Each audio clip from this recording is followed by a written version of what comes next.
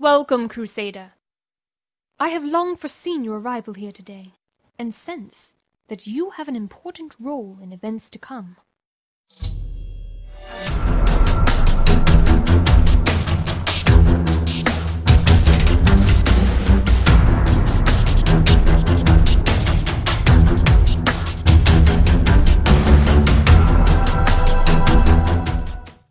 Greetings and salutations to viewers. Thank you for joining me, Sir Bercilak, for the seventh installment of Knights of the Nine Revelation.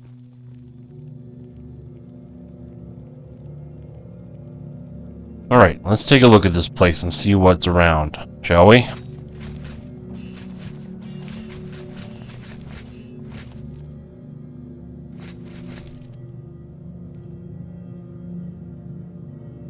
Okay, so that belongs to somebody. Welcome. Feel free to browse through my wares. Oh, so you even use the custom voices on the shop NPCs. That's good. That's original. You could have just easily stuck a vanilla voice onto that shopkeeper and Goodbye, know. Sir Knight. been done with it.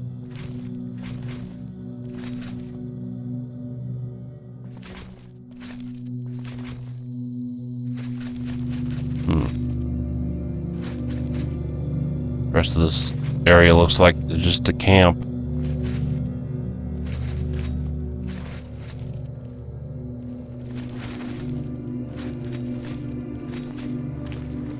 What say you, good captain? Queen Alessia is the heroine of all humans.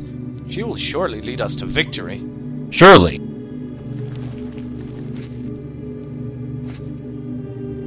Oh. Book and stone. It's a crime to pick that up. Welcome. Feel free to browse through my wares. I will do just that.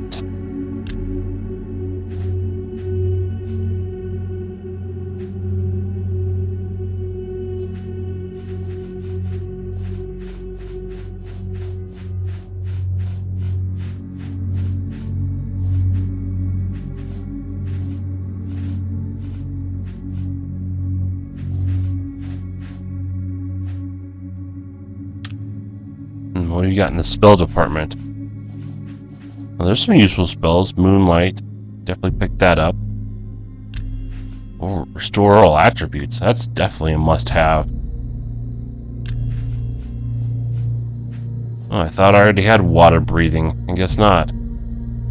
We'll pick it up while I'm here.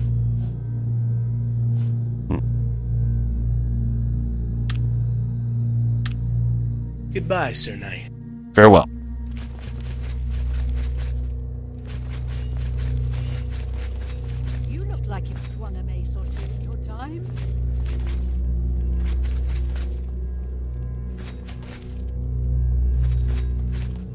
Gate is open elsewhere. Oh, I see. I, that's kind of cool. It got the guards opening the gate for you. Hmm. So you're the one they call the Divine Crusader a few thousand years from now, eh? You dug my armor out of the ground and then fought Umaril in a dream. That doesn't make you a hero in my book.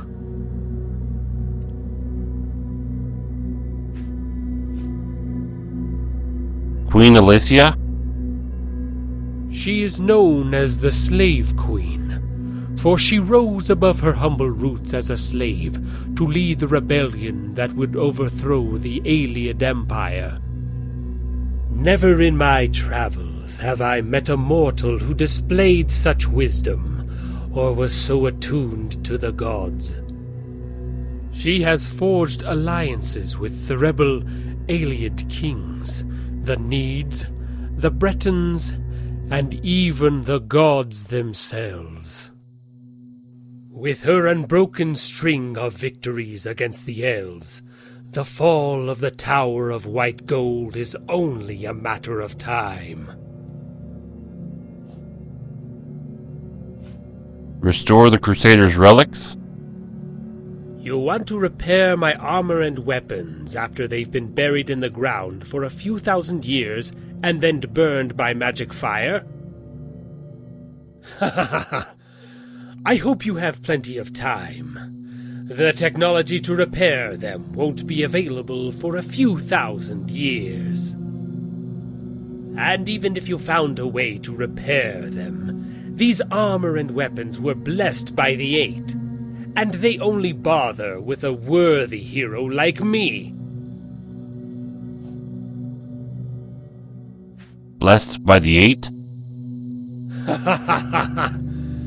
If you can somehow repair the relics and are deluded enough to try talking to the gods, then be my guest. You'll find the Shrine of the Eight hidden behind a waterfall west of Sard, and there you can pray to your heart's content.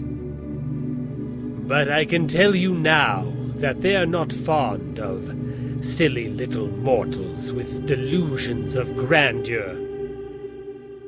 Don't blame me if they ignore you, or worse, strike you down with a bolt of lightning for your belligerence.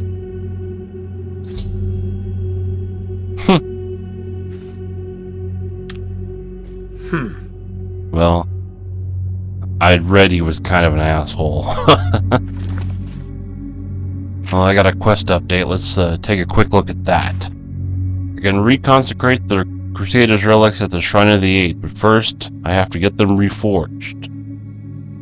Okay, that one. Slave Queen. I found Naomi at Fanacasecul. She was catapulted 4,000 years into the path like I was when Gareth's portal imploded. She says that I should talk to Alicia, Pelinal, and Morihaus. Okay.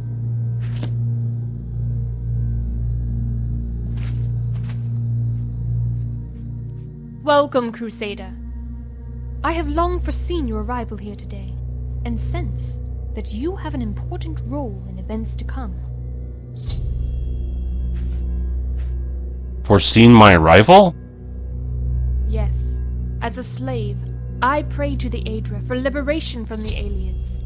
My prayers were answered in the form of three visions of things to come. The third vision was a harbinger, Pelinal's arrival.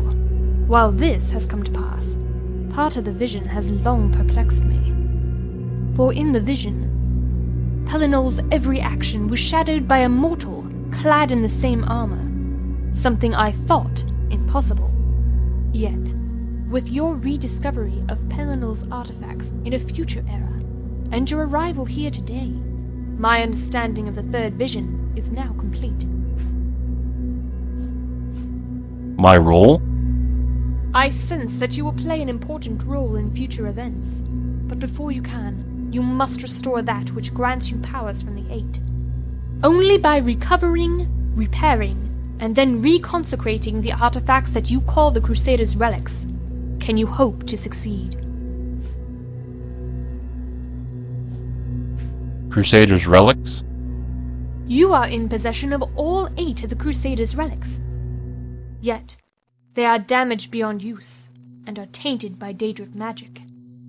You must seek the aid of both Morihaus and Pelinal to ensure they are repaired and reconsecrated. Freed slaves? The Ayleids have enslaved our kind for too long. We are freeing slaves across Cyrod, and they in turn are bolstering our numbers. For every slave that you free, we will pay you a reward of 200 gold. Alright, freed slaves? For freeing the slaves, you have our gratitude. As promised, here is your reward. Oh, it's nice that it calculates all of them at once.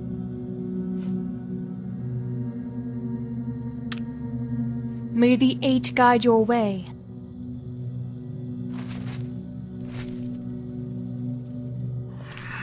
Greetings, Lord Crusader.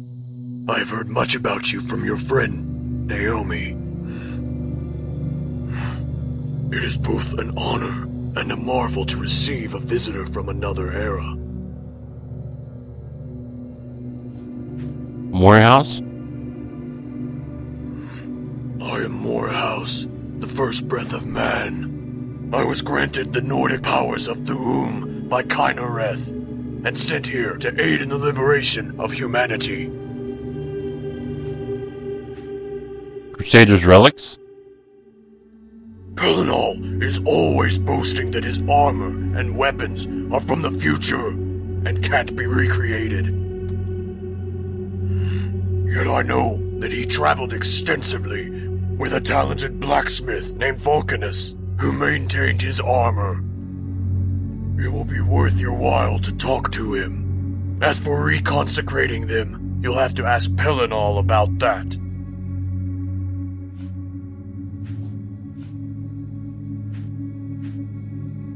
Vulcanus?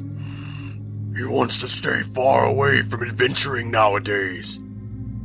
But last I heard, he had settled down in Cerson. He'll probably send you on a quest for some exotic raw materials first, before he'll help.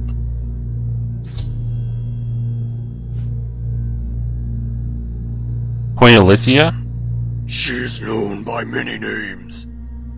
She was named Alesh by her followers, and this led to the more familiar corruptions Alashut, Esha, and Alessia.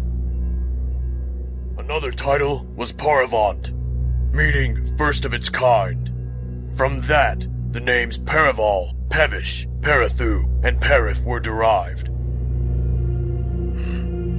But as her lover and consort, I knew her as Paravanya, First Empress, Lady of Heaven, and Queen Utsirod.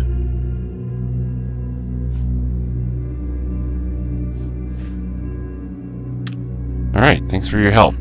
Farewell, Lord Crusader. Farewell. Alright, that needs a key. What do you have to say, soldier? They say that Aurorans are fused to their armor, which is why it can't be removed. Okay. It's nice that the NPCs spread around this area all have different things to say. That was a nice touch.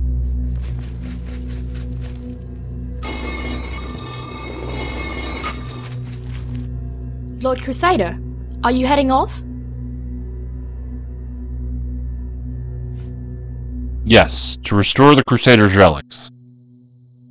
So they know of a way to repair them? That's great! Queen Alicia has asked me to study the Adabal, so I'll be here in Fanacasecul if you need anything. A double? Yes, the Adabal, meaning Godstone in the Ayleid language. They are Ayleid soul gems of great power. You see the red diamond that Queen Alicia is wearing around her neck? That's actually Chim-el Adabal, the godstone that eventually became the Amulet of Kings, as worn by Uriel Septim. It turns out that there's two others just like it, and I've been given the chance to study them. Hmm. See you. Goodbye. Let's check out the tent real fast.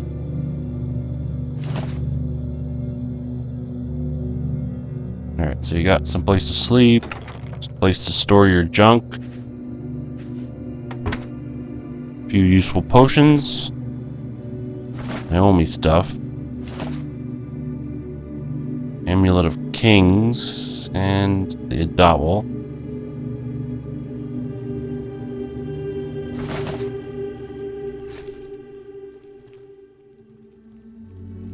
Alright, let's check the map real quick. Looks like we've uh, explored this area.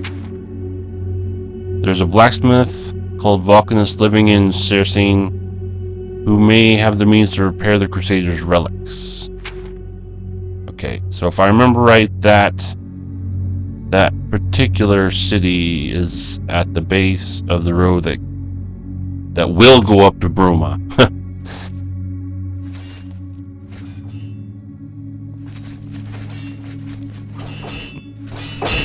I would, I would fast. Well, there's no, I can't fast travel there. But I usually wouldn't record the journey there. But the terrain has has the potential to be so different from what we're used to that I think I will actually re actually record the journey all the way there. But I probably won't be able to make it all in this episode. I'm almost out of time.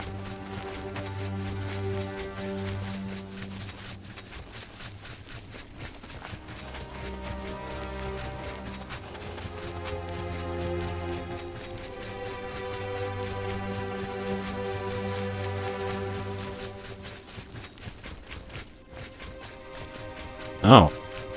There's not even a bridge over to the island. At least not over here. Interesting. What do they do? Ferry people back and forth?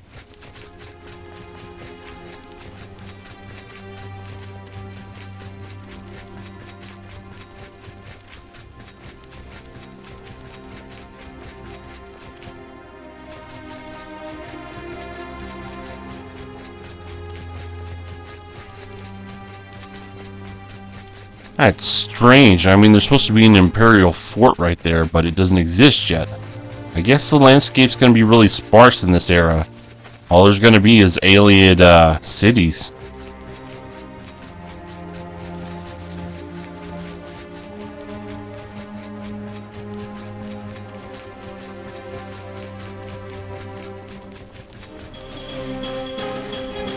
Ha! Some action! Aliens!